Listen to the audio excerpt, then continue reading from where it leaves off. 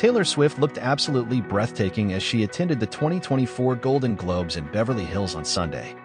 The pop sensation stole the show in a glittering green gown decked out with countless sequins as she hit the red carpet solo. She turned up to the glittering Hollywood ceremony without her new boyfriend Travis Kelce.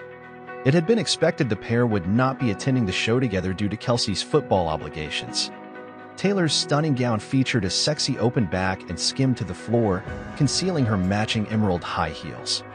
The singer's wildly successful concert film, Taylor Swift, The Eras Tour, was up for a Golden Globe Award. It was nominated for cinematic and box office achievement, however lost to Barbie. Taylor looked gorgeous with her brunette hair styled into billowing waves with a thick bank skimming over her blue eyes. She rocked blush, a smoky eye, and fresh slick of lipstick. Taking the glamour up a notch, Taylor also donned a gorgeous pair of dangling earrings and several silver rings. Taylor, can I get one on the right? Two two right.